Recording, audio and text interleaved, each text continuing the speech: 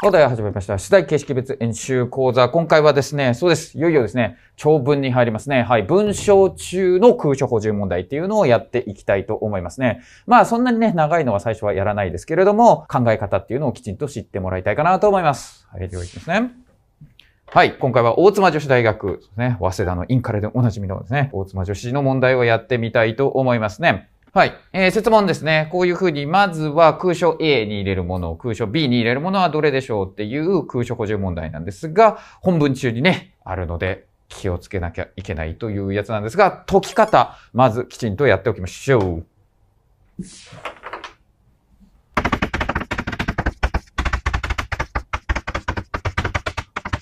はい。文章中の空所補充問題ってやつですね。えー、解き方がですね、まあ、同じのもあるんですけど、あの一文に出てくるやつと違うっていうのも結構あるので知っとかなきゃいけません。まずですね、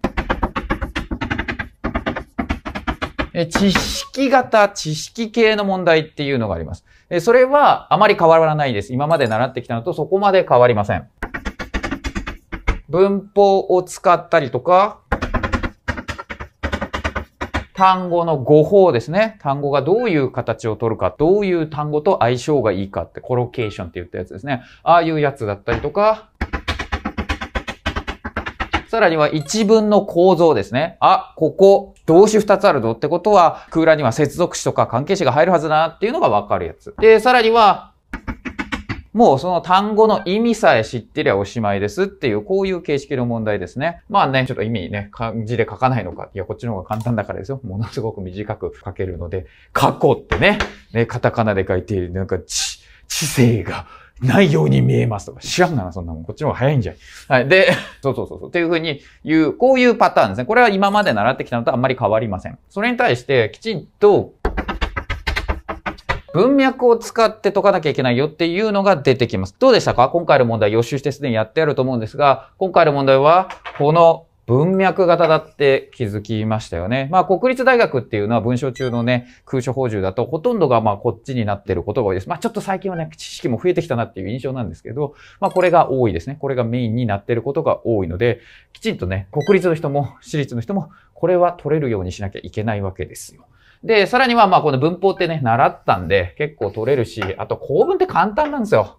すごく楽勝に取れる。だから厄介なのはそう語法と意味ですね。語法問題と意味問題っていうのは、もう分からなかったらしょうがないです。超難関大学の場合はもうこれ分かんなかったら捨てるしかないです。もうその単語の意味分かんなきゃ取れないんですからね。はい、その単語の語法知らなきゃ取れないですからね。超難関じゃなければ知っておいてねっていうような知識問題なんで、えー、ぜひ取れるようにしてください。混合型も出てくることはあります。まあ、当然文脈使うんだけど、その単語の意味ね、選択肢の単語もめちゃむずいとか、文脈は使うんだけども語法も知らなきゃダメだよみたいなのがね、出てくることもあります。それらは結構レベルが高かったりするんですが、さあ、今回の問題行ってみましょう。はい、では行きますね。boring, exciting, painful, troublesome っていうので、まあ知ってますよね、このね、単語の意味はね。えなんで今回は単語の意味というよりですね、きちんと文脈で解かなきゃいけない問題だったわけです。はい、行きます。Marrying someone from a different culture may force a woman to live in her partner's country. はい、違った文化の人と結婚することでね。同名詞が主語になってます。っていうのが、may force a woman。はい、女性にこうさせるかもねって言って、force 人 to do ですね。はい、結婚相手の国に住ませるようになるかもしれんと。They live in a country outside of her own maybe なんとか in the beginning, but gradually this feeling will be replaced by a strong desire to return home というふうに書いてます。her own country ですね。これ her own country の外の国に住むことって言ってますね。っていうのが maybe なんとか in the beginning 最初の頃はこうかもしれないって言ってます。で、この保護に入る形容詞を選びますね。バットってきてますから、はい、そうですね。当然ここがヒントですよね。バットは逆説になるわけだから、反対にならなきゃいけないわけですよ。最初はこうだったけど、gradually, はい、徐々に、オラオラオラオラってね。This feeling will be replaced. はい、この気持ちね。はいね、どんな気持ちってですね。この気持ちが、取って変わられる。はい、replace とこれに変わられちゃうよって言ってるわけです。by a strong desire. はい、こういう強い気持ち、こうしたいよって意味ですね。to return home 家に帰りたいっていう強い気持ちにとって変わられちゃいますよっていうふうに言ってます。はい、この気持ちは家に帰りたいよ。そうですね。海外住んでたけどもう帰りたい。ホームシックだよっていうのだから、はい、よろしくない。マイナスの表現ですね。まあ次にほら、this homesickness っていうふうに書いてあるからね。これも帰りたいよっていう気持ちですから、同じことを表しますね。そう、だからこのマイナスの気持ちにとって変わられるんだから、this feeling っていうのはプラスのものであるっていうふうに意識してくださいね。そう、ここ逆説で、プラス、最初はいい感じだったんだけど、徐々にそのいい感じが帰りたいっていうマイナスのものにとって変わられるよっていう、そういう内容だと分かったかどうかです。はい、あ、boring ですね。はい、boring はマイナスですからダメですよね。はい。exciting プラスですね。painful マイナスですね。Troublesome 厄介、めんどくさいなってやつ、マイナスですね。はい。ということで分かりましたね。プラスマイナスを考えた場合に、1個だけプラスで、あとは全てマイナスだったってやつです。はい。これよくありますね。このプラスとマイナスを考えるだけで、正解がすぐに選べますよっていう問題はたくさん出題されます。これは下の大学から上の大学まで幅広く出てくるポイントなので、きちんと押さえておいてください。これ超大事です。で、選択肢も1個だけプラスマイナスが逆であるって言って、一瞬で正解が出るって問題も山ほど出ますから、この考え方はちゃんと覚えておいてください。はいね。最初はだから海外住むっていうのはね、ウキウキワクワクドキドキかもしんないけど、でもね、だんだんだんだんそのウキウキドキドキワクワクがですね、帰りたい帰りたいっていうのに取って代わられちゃうよって言ってるわけですね。This homesickness is reduced. ね、この homesickness っていうのが減るかもしれない。in some people. ね、ある人たちの中では減るかもしれない。で、while が、はい、対比ですね。while increasing others. ね。はい、あ、これちょっと難しいかもしれないですね。これ省略が起こってるから、while it is ですね。while this homesickness is increased in others っていう形になってます。で、この some people と others って来てますけど、some と other ってですね、対比を表すこともしょっちゅうあるんですよ。なんで、これを押さえておく必要がありますね。そうだから減る人もいるかもしんないけど、この辛さがね、増えちゃう人もいるんだよ。減る人もいるけど、増える人もいるんですよって言ってるわけです。で、depending on ですね。これに基づいて depending on their personal histories はい、自分がどういうバックグラウンドを持っているかとか、what their home means to them ですね。ホームっていうのが何をその人たちにとって意味しているか。そういったものに基づいて変わりますよっていうふうに言ってます。でこの depend on で2つ並んでるわけですね。これに基づくと、これに基づく。ね、これ what の塊、っていうのが入っています。で、homesickness is sore なんとか for the female spouse who cannot visit her home. はい、homesickness っていうのは、とってもこうであるって言ってますね。で、for the female spouse ですから、えこの結婚してる相手のことですね。spouse っていうのは夫とか妻のことを表します。で、どういうって言ったら、who cannot visit her home, family or friends、ね。家、家族、友達を for long ね。長い間訪れることのできないスパウスにとってこうだよっていうふうに書いてます。まあちょっとね、どっちだかはもう大体わかるんですけど、プラスかマイナスかは大体わかりそうじゃないですか。でもまあ次の also もヒントだから、一応こっちも見ておきますね。also when the woman leaves her country はい、自分の country を出るとき、she is leaving her position in her society as well ね。もうまたってですね。as well 知ってますね。言い換えると、そう、to ですね。もうまたっていうやつですが、はい。自分のポジションですね。社会的な地位ですね。それを捨てなきゃいけないんですよ。リービングしなきゃいけないので、そう、わかりますか？ね。その自分の国で築いた地位っていうのを捨てるという、これマイナスの内容だっていうことに気づけば、ね、多そうで並んでんだから、ああ、おそらくここもマイナスだろうなっていうことは判断できるし、あとはホームシックネスって書いてあるし、これほら、長い間ね、自分の家族とか友達を訪れられないっていうね、そんなん悲しいに決まってるじゃないですか。え？陰キャだから関係ないって？よくわかる、その気持ち。はい。えー、ということで、あよろしくないことが書いてあるなっていうふうに、で、まあ、できないって書いてあるしね、cannot って書いてあるし、マイナスのことが並んでるなってことから、きちんとここにはマイナスが入るっていうふうに思ってください。はい。dramatic 別に マイナスじゃないですね。dramatic。hard は明らかにマイナスですね。はい。important はプラス。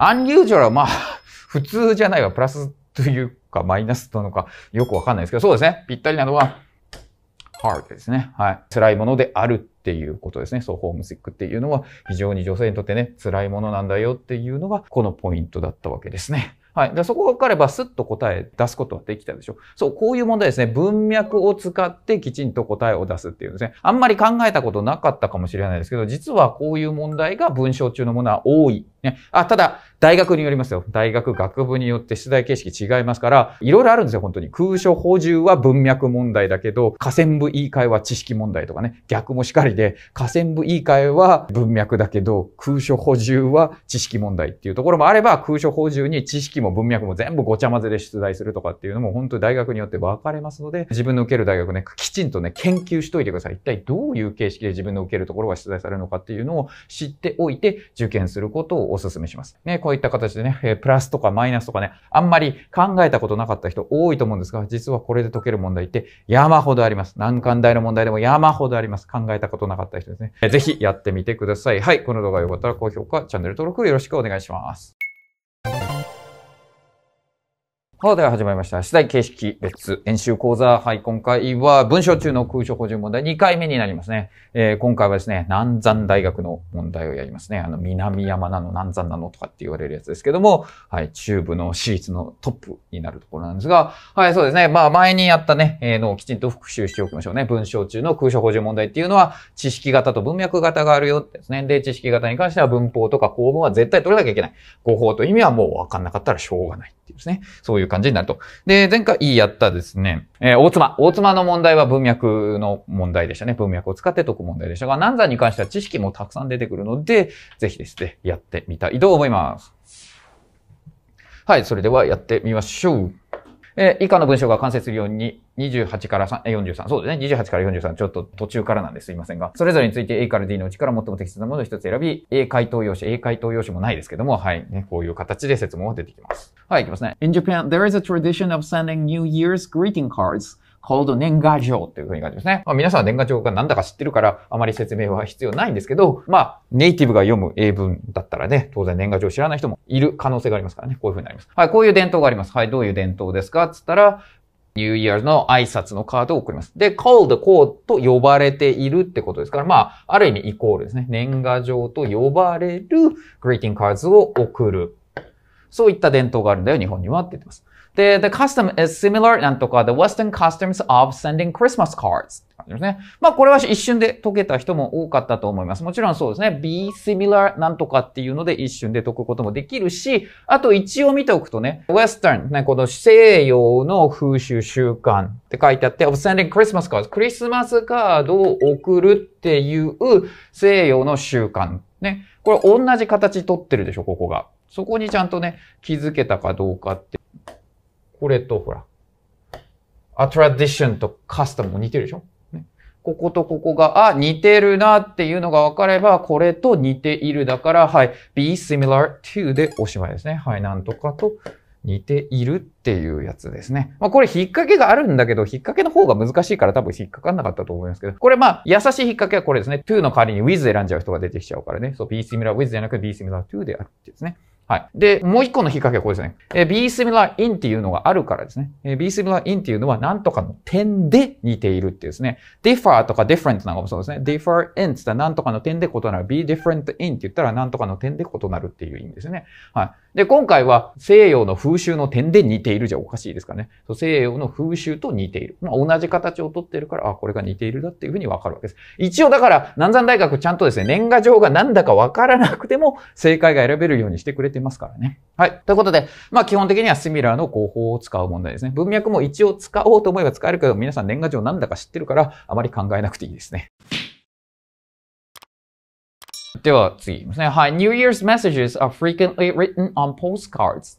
They are also known as 年賀はがき or New Year's postcards っていうふうに書いてますね。で、選択肢が that, since, despite, even というふうに品詞が違うキャラクターが並んでますから、これは構文でいけるってことが多いですね。はい。もう一瞬でいけたんじゃないですか？はい。New Year's messages are っていうふうに、はい。V が来てますね。まあ一応ちょっと伸ばしちゃいますね。are written っていう形になってるわけで、はい。動詞1個ありました。そして、they are っていう風に書いてあるから、はい、また SV ですね。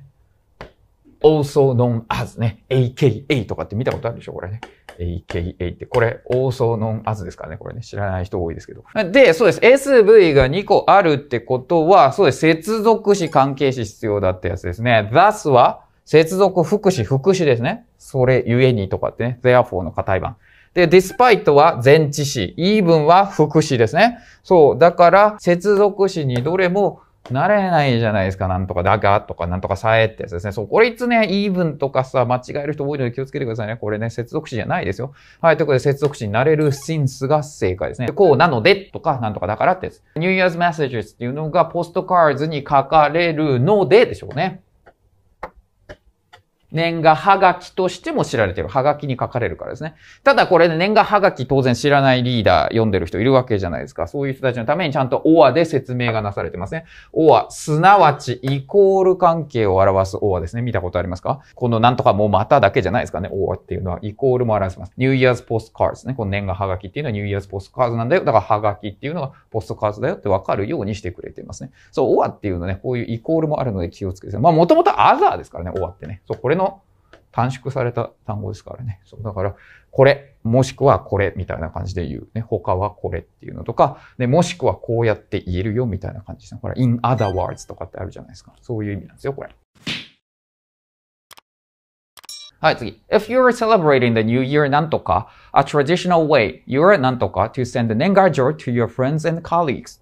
きますね。はい、これはもう簡単です。もうこれで、まあ、授業でいつもね、口を酸っぱくして何とも何ともいい。ウェイが出てきた場合ですね。はい、ウェイと相性のいいのは、エン、あ、なんとか、ウェイですね。はい。方法とか点とかってやつですね。めちゃくちゃよく出てくるから必ず覚えておいてください。えー、by が出てくるときは、ほら、by the way とかですね。えー、ところで、by way of なんとか経由してとかね。ああいう場合は必要ですけど、in a なんとか way っていうのはすごくよく出るから、えー、確実に押さえておいてください。もし、あなたがニューイヤーを伝統的な方法でお祝いするんだったら、you are なんとか to send 年賀状 to your friends and colleagues. ね。はい、これ受動体になっているからちょっとよくわかんないかもしれないですね。で、受動体になっててわかんなかったら、能動体直してみますね。そうすると、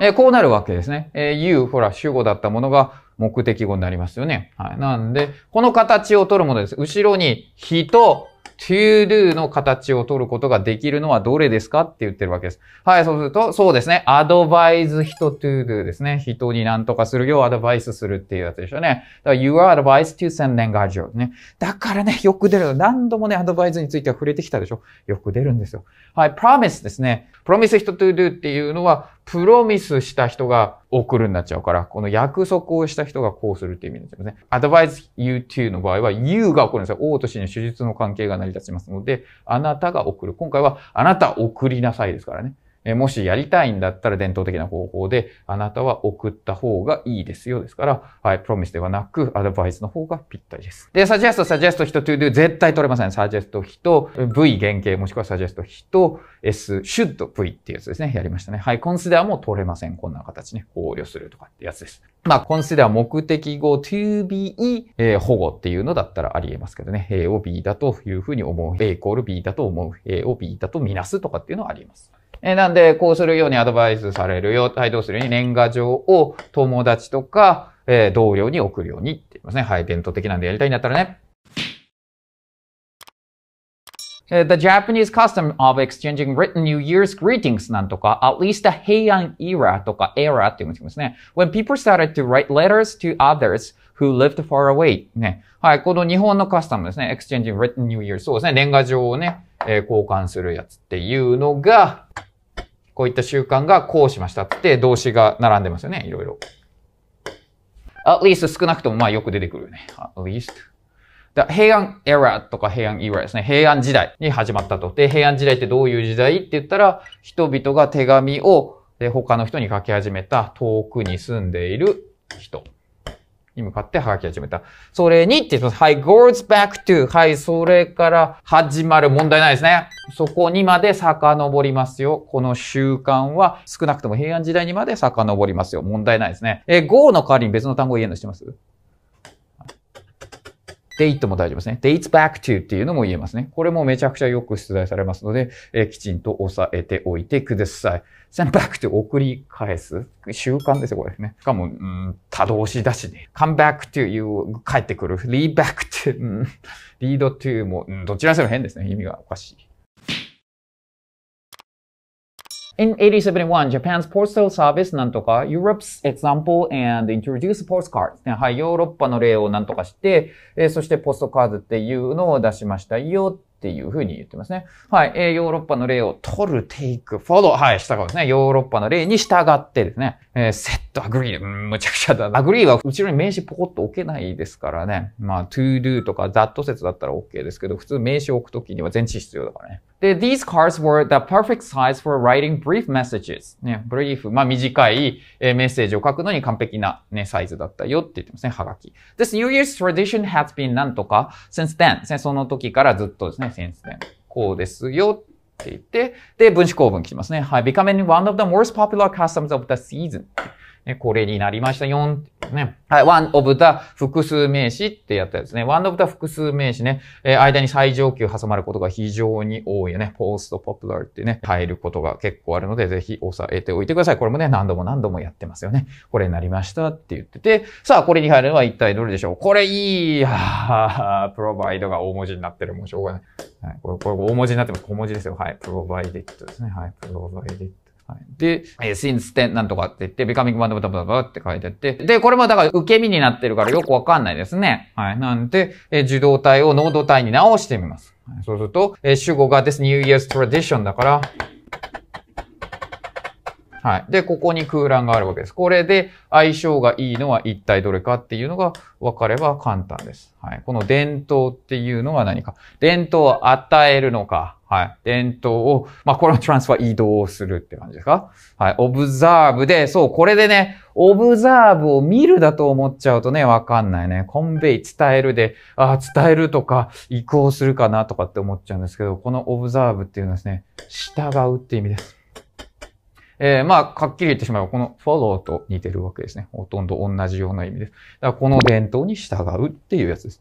そんな伝統を伝えるってなんか言えそうじゃないですか。それは日本語だからです。英語では言えません。はい。だからあなたが文句言ってもしょうがないです。きちんと英語のルール、英語の語法でこの問題は解かなければならないわけですね。この正月のですね、伝統っていうのがその時からずっとと守られてる、従われてるですね。そうですね。みんながこれをやっているんですね。はい。で、そして、最もポピュラーな習慣のうちの一つになったんだよ、季節のっていうふうに言ってるわけですね。はい。って聞きましたかね。そう、オブザーブこれレベル高いですけど、昔センター試験にも出たことあるから知っておかなきゃダメです。オブザーブ the rule とかね、ルールに従うとかっていうのも出題されますから、きちんとこれは押さえておかなければいけません。はい。ということで、今回は文法、語法もたくさん出てくる問題だったと思いますね。そう、だからこういうふうに、ただただ文脈だけとは限りませんので、様々な視点から解けるように頑張っていってください。はい。この動画が良かったら高評価、チャンネル登録よろしくお願いします。